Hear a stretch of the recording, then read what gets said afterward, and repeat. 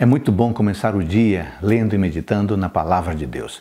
Hoje o nosso texto é Josué capítulo 20. Este capítulo se refere às cidades de refúgio, sobre as quais nós já temos lido com frequência nos escritos de Moisés, mas esta é a última vez que estas cidades são mencionadas, porque agora essa questão estava plenamente resolvida.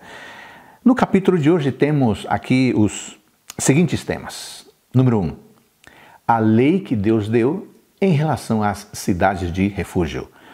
Número 2, a designação das cidades específicas para esse uso. E número 3, essa lei corretiva era uma figura de coisas boas no futuro. A história sobre cidades de refúgio destaca pelo menos três verdades muito importantes. A primeira é: Deus tomou a iniciativa na provisão desses abrigos. Em segundo lugar, Deus faz uma distinção muito clara entre assassinato intencional e assassinato acidental. Este fato indica que a pessoa deveria ser julgada principalmente à luz de seus motivos e não do que ela fez.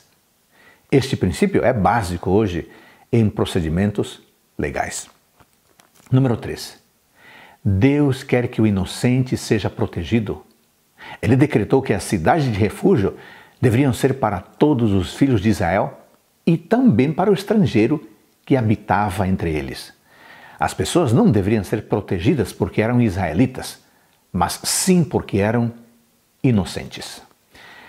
Eu fiquei pensando no seguinte: o esforço de administrar corretamente a justiça sempre deve caracterizar aqueles que conhecem a Deus.